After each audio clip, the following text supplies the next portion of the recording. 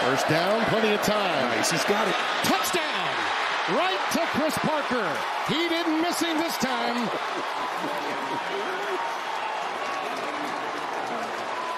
Big time throw that time. On a pass that was a rope. This is this is what you call a drive route. West Coast feature here, come across that formation, sort through it, sift through it. The safety does it. Emmanuel's first career touchdown. Up the gut, second effort, touchdown. Nathan Carter.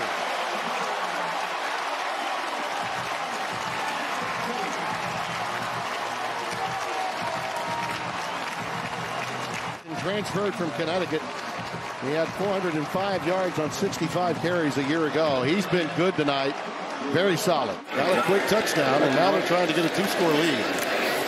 Yeah, nice job. Burger! touchdown! He called, it. he called it, man. man. He called it. He, he'd be a hell of a coach and a hell of an Italian coach. Snap it.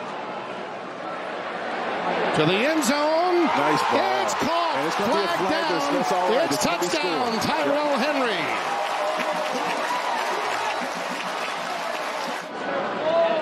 Snap it. To the end zone. Nice ball. It's caught. And it's going to be a flag. down. That's all right. It's, it's touchdown, Tyrell Henry. Got the big tight end uh, in position, Evan Morris, 92. Go the other way, corner, Carr, it is. Tim, he may have gotten that inside foot down. Touchdown, Carr. Boy, when you can see a guy 6'5", 255 control his body like this, watch the release inside the nod. Looking like Heath Jackson out there wearing that hat high. Yeah. Watch that leg. Ooh, he got that left leg down. Sure I mean, that's just a thing of beauty right there, man. Outstanding. Grabbing it at his highest point with those hands. Indiana to get another degree before becoming a professor there. Oh, doctor. And there's Nathan Carter. Oh my! Taken out at the 40, the 37 yard line, they'll call it. You know, Two. I, I I think, too. I think it's important to get a litmus test of where they stand, given they've Yeah. lost so much. Absolutely. Because they've got a great coach. We understand. We have, both of us have great respect for No him. but doubt. And uh, Big Noon's going to be there. They'll have a blast. Yep. Want to wish Mark Ingram, whose dad Oh, played here at Michigan State.